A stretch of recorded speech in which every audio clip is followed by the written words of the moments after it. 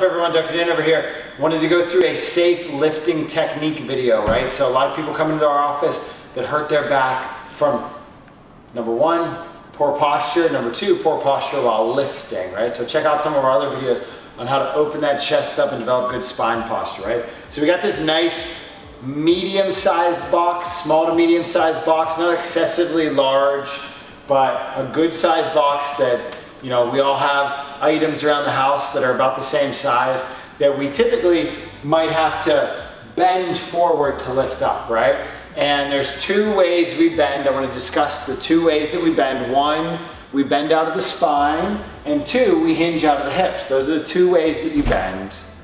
If you bend the right way, you're gonna lift strong and stable, and if you lift the wrong way, you're gonna hurt your back, possibly straining a muscle, damaging a disc, what we call disc herniation or disc bulge if you hurt your back from improper bending. So keep in mind as you've seen us talk about in other videos, every opportunity to lift is an opportunity to do it the right way or the wrong way, right? We wanna make sure we train ourselves to hinge at the hips and lift the right way, okay? So two different variations. One, bend at the low back and pick up, right? We'll put a nice big X on my low back. Oh, I hurt myself.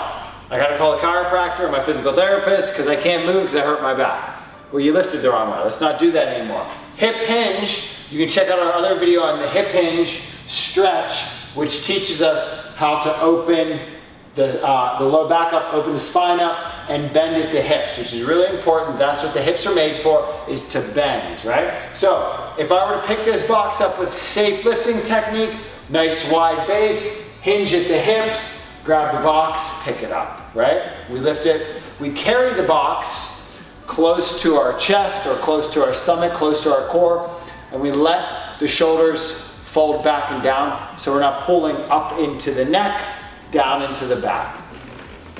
Hinge at the hips, bend at the knees, stand up, roll the shoulders open. Do not bend at the lower back, and hurt, hurt yourself or cause pain, right? So safe lifting techniques, two major things, hinge at the hips and hold the weight close to your body as you walk to whatever room it is that you gotta put that box or that item into, right? Safe lifting technique with, with Dr. Dan over here at Beat Fitness.